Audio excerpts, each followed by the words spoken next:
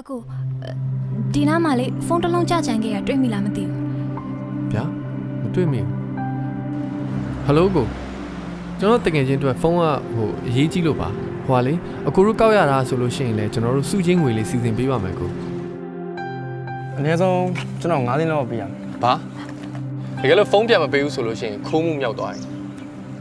သူတို့ဓာတ်ပုံရိုက်ပြီးတော့ online ပေါ်တင်မယ်အရင် ကျေးဇူးတင်တာပဲအကိုသားမရှိရင်ကျမညီမလေးနဲ့ဆက်သွယ်ရမှာမဟုတ်ဘူး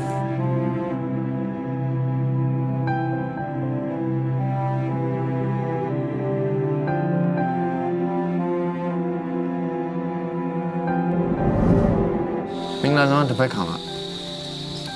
ကျွန်တော်ကမင်္ဂလာဆောင်မတက်တော့ဘူးလုပ်ပြီးတော့ပြန်တော့ဘူးဘာလို့မင်္ဂလာဆောင်ကကျွန်တော်ရဲ့ X ဟေးနေရောက်လာရနော်အေးဝမ်းသာလိုက်တာဟာငါနေလာမလာပါမလားလို့သူခုနကပြောသားသလိုရမင်း plus 1လိုက်ပေးမယ်လေကျမကို body card လိုပဲသဘောထားလိုက်ပေါ့ဒီမှာနော်ဆွတီမမိုင်အိမ်ပြန်လိုက်ပို့ပြမယ်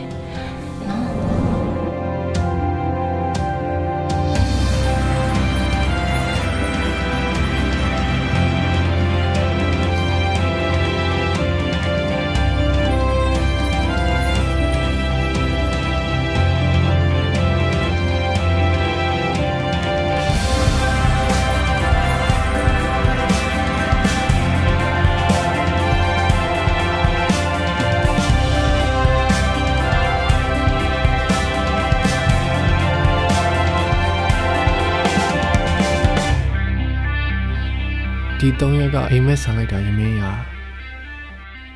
ကျမအတွက်လည်းတူတူပဲ